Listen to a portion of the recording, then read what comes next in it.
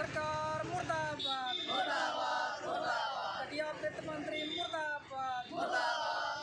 ਜਦੋਂ ਅਸੀਂ ਦੇਖਦੇ ਹਾਂ ਕਿ ਸਮੁੱਚੇ ਜਿਹੜੇ ਪੰਜਾਬ ਦੇ ਐਮਐਲਏ ਆ, ਉਹ ਵੱਡੀਆਂ ਸਹੂਲਤਾਂ ਲੈ ਰਹੇ ਆ, ਜਦੋਂ ਇਹਨਾਂ ਨੇ ਆਪਦੀ ਤਨਖਾਹ ਵਧਾਉਣੀ ਹੁੰਦੀ ਆ, ਉਦੋਂ ਇਹ ਸਾਰੇ ਇਕੱਠੇ ਆ ਕਿ ਜਿਹੜੀਆਂ ਪਾਰਟੀਆਂ ਇਹ ਕਹਿੰਦੀਆਂ ਸੀ ਕਿ ਅਸੀਂ ਮਤਲਬ ਲੋਕਾਂ ਨੂੰ ਲੋਕ ਪੱਖੀਆਂ, ਲੋਕਾਂ ਦੇ ਨਾਲ ਖੜੇ ਆ ਔਰ ਅਸੀਂ ਕੋਈ ਸਹੂਲਤਾਂ ਨਹੀਂ ਲਵਾਂਗੇ। ਔਰ ਸਾਰੀਆਂ ਪਾਰਟੀਆਂ ਦੇ ਐਮਐਲਏਆਂ ਦੇ ਅੱਜ ਉਹਦੇ ਦੇ ਵਿੱਚ ਲੋਕ ਐਤਕੀ ਬੜਾ ਸਮਝ ਸੋਚ ਕੇ ਫੈਸਲੇ ਕਰਨਗੇ, ਕਿਉਂਕਿ ਇੱਥੇ ਲਟੇਰੀ ਜਮਾਤ ਆ, ਇਹ ਲੋਕਾਂ ਨੂੰ ਲੁੱਟ ਰਹੀ ਆ। ਔਰ ਕਿ ਜਿਹੜਾ ਆਉਂਦਾ, ਉਹ ਬਿਜਲੀ ਮਹਿਕਮੇ ਤੇ ਆ ਕੇ ਗੱਲ ਖੜ ਜਾਂਦੀ ਹੈ ਕੋਈ ਕਹਿੰਦਾ ਮੈਂ 300 ਯੂਨਿਟ ਦੇਵਾਂ ਕੋਈ ਕਹਿੰਦਾ 400 ਦੇਵਾਂ ਕੋਈ ਕਹਿੰਦਾ 500 ਦੇਵਾਂਗਾ ਇਸ ਕਰਕੇ ਅੱਜ ਬਿਜਲੀ ਬੋਰਡ ਦਾ ਇਹਨਾਂ ਨੇ ਬਹੁਤ ਮਾੜਾ ਹਾਲਤ ਕਰਤੀ ਆ।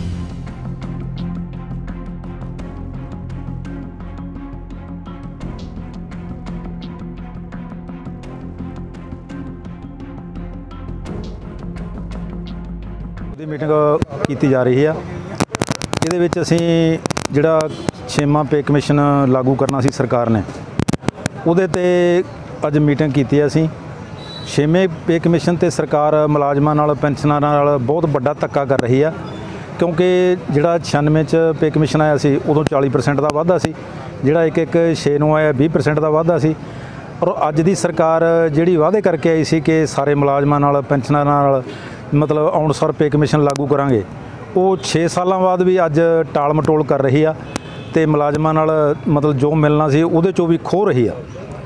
ਇਸ ਕਰਕੇ ਆਉਣ ਵਾਲੇ ਸਮੇਂ ਦੇ ਵਿੱਚ ਜਿਹੜਾ ਇਹ ਸੰਘਰਸ਼ ਤੇਜ਼ ਹੋਣਾ, ਜਦੋਂ ਅਸੀਂ ਦੇਖਦੇ ਹਾਂ ਕਿ ਸਮੁੱਚੇ ਜਿਹੜੇ ਪੰਜਾਬ ਦੇ ਐਮਐਲਏ ਆ, ਉਹ ਵੱਡੀਆਂ ਸਹੂਲਤਾਂ ਲੈ ਰਹੇ ਆ, ਜਦੋਂ ਇਹਨਾਂ ਨੇ ਆਪਦੀ ਤਨਖਾਹ ਵਧਾਉਣੀ ਹੁੰਦੀ ਆ, ਉਦੋਂ ਇਹ ਸਾਰੇ ਇਕੱਠੇ ਆ ਔਰ ਅੱਜ ਤਨਖਾਹ ਜੇ ਅਸੀਂ ਪਿਛਲੇ ਸਮੇਂ ਨੂੰ ਦੇਖ ਲਈਏ ਤਾਂ ਅੱਜ ਤਿੱਗਣੀ ਚੌਗਣੀ ਤਨਖਾਹ ਇਹਨਾਂ ਨੇ ਕਰ ਲਈ ਆ। ਔਰ ਸਮੁੱਚੇ ਐਮਐਲਏਆਂ ਦਾ ਟੈਕਸ ਭਰਨਾ ਹੋਰ ਵੀ ਮੰਦਭਾਗੀ ਗੱਲ ਆ ਕਿ ਜਿਹੜੀਆਂ ਪਾਰਟੀਆਂ ਇਹ ਕਹਿੰਦੀਆਂ ਸੀ ਕਿ ਅਸੀਂ ਮਤਲਬ ਲੋਕਾਂ ਨੂੰ ਲੋਕ ਪੱਖੀਆਂ, ਲੋਕਾਂ ਦੇ ਨਾਲ ਖੜੇ ਆ ਔਰ ਅਸੀਂ ਕੋਈ ਸਹੂਲਤਾਂ ਨਹੀਂ ਲਵਾਂਗੇ। ਔਰ ਸਾਰੀਆਂ ਪਾਰਟੀਆਂ ਦੇ ਐਮਐਲਏਆਂ ਦੇ ਅੱਜ ਉਹਦੇ ਚ ਨਾਂ ਆ ਗਿਆ। ਉਹਦੇ ਚ ਆਪ ਵੀ ਸ਼ਾਮਲ ਹੈ, ਅਕਾਲੀ ਦਲ ਸ਼ਾਮਲ ਹੈ, ਕਾਂਗਰਸ ਸ਼ਾਮਲ ਹੈ ਔਰ ਸਮੁੱਚੇ ਲੋਕਾਂ ਦਾ ਟੈਕਸ ਦਾ ਕੱਟਿਆ ਹੋਇਆ ਪੈਸਾ ਪਾਈ ਪਾਈ ਉਹ ਉਹਦੇ ਵਿੱਚੋਂ ਸਮੁੱਚੇ ਐਮਐਲਏਆਂ ਦਾ ਟੈਕਸ ਭਰਿਆ ਜਾ ਰਿਹਾ ਹੈ। ਇਹ ਲੋਕਾਂ ਨੂੰ ਚੂੰਡ ਰਹੇ ਆ ਔਰ ਆਪਦੇ ਜਿਹੜੇ ਹੈਗੇ ਆ, ਉਹ ਆਉਣ ਵਾਲੇ ਸਮੇਂ ਦੇ ਵਿੱਚ ਮਹਿਲ ਬਣਾ ਰਹੇ ਨੇ। ਇਸ ਕਰਕੇ ਸਮੁੱਚਾ ਅੱਜ ਪੈਨਸ਼ਨਰ ਮੁਲਾਜ਼ਮ, ਮਜ਼ਦੂਰ, ਕਿਸਾਨ ਇਸ ਲਈ ਲੜ ਰਿਹਾ ਔਰ ਇਸ ਲੜਾਈ ਨੇ ਹੋਰ ਵੀ ਅੱਗੇ ਵਧਣਾ। ਔਰ ਆਉਣ ਵਾਲੀਆਂ ਚੋਣਾਂ ਦੇ ਵਿੱਚ ਲੋਕ ਐਤਕੀ ਬੜਾ ਸਮਝ ਸੋਚ ਕੇ ਫੈਸਲੇ ਕਰਨਗੇ ਕਿਉਂਕਿ ਇੱਥੇ ਲਟੇਰੀ ਜਮਾਤ ਆ, ਇਹ ਲੋਕਾਂ ਨੂੰ ਲੁੱਟ ਰਹੀ ਆ ਔਰ ਜਿਹੜੀ ਵੀ ਪਾਰਟੀ ਆਉਂਦੀ ਆ, ਉਹ ਬੜੇ ਵੱਡੇ ਵਾਅਦੇ ਕਰਦੀ ਆ। ਇਹਨਾਂ ਕੋਲੇ ਲੈ ਦੇ ਕੇ ਇੱਕੋ ਹੀ ਮਹਿਕਮਾ ਬਚਿਆ ਬਿਜਲੀ ਬੋਰਡ ਦਾ। ਹੋਰ ਕਿਸੇ ਵੀ ਮਹਿਕਮੇ ਦੇ ਵਿੱਚੋਂ ਕੋਈ ਰਾਇਤ ਦੱਸੋ ਕੀ ਕਹਿਣਗੇ ਪੁਲਿਸ ਵਾਲਿਆਂ ਕੋਲੇ ਕਿ ਪੁਲਿਸ ਵਾਲੇ ਤੁਹਾਨੂੰ ਇੰਨੀਆਂ ਡਾਂਗਾਂ ਦੇਣਗੇ?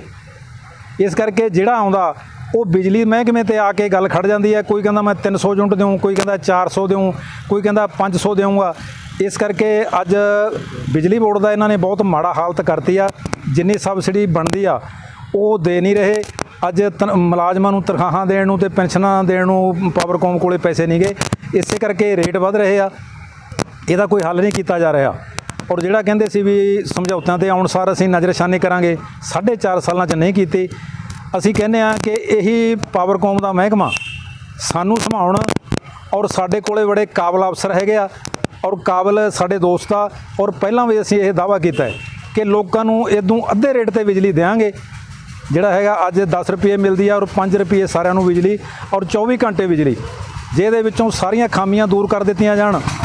ਤਾਂ ਲੋਕਾਂ ਨੂੰ ਬਹੁਤ ਸਸਤੇ ਰੇਟ ਤੇ ਬਿਜਲੀ ਮਿਲ ਸਕਦੀ ਹੈ ਔਰ ਇਹਦੇ, ਇਸ ਕਰਕੇ ਮਤਲਬ ਸਮੁੱਚੀਆਂ ਸਰਕਾਰਾਂ ਜਾਂ ਅਫਸਰਸ਼ਾਹੀ ਇਹ ਮਿਲ ਕੇ ਇਹਨੂੰ ਖਾਈ ਜਾ ਰਹੇ ਆ ਪ੍ਰਾਈਵੇਟਾਈਜੇਸ਼ਨ ਵੱਲ ਧੱਕਿਆ ਜਾ ਰਿਹਾ ਹੈ ਸਮੁੱਚੇ ਮਹਿਕਮਿਆਂ ਨੂੰ ਔਰ ਸਮੁੱਚੇ ਲੋਕ ਜਿਹੜੇ ਅੱਜ ਪੋਲੀਟੀਸ਼ੀਅਨ ਹੈ, ਉਹ ਇਕੱਲੇ ਗੱਪਾਂ ਨਾਲ ਕੰਮ ਚਲਾ ਰਹੇ ਆ ਵੱਡੇ ਵੱਡੇ ਵਾਅਦੇ ਕੋਈ ਮਤਲਬ ਲੈ ਕੇ ਆ ਰਹੇ ਆ, ਇਸ ਕਰਕੇ ਆਉਣ ਵਾਲੇ ਸਮੇਂ ਦੇ ਵਿੱਚ ਲੋਕਾਂ ਨੂੰ ਬੜੇ ਸਮਝ ਸੋਚ ਕੇ ਫੈਸਲੇ ਕਰਨੇ ਪੈਣਗੇ।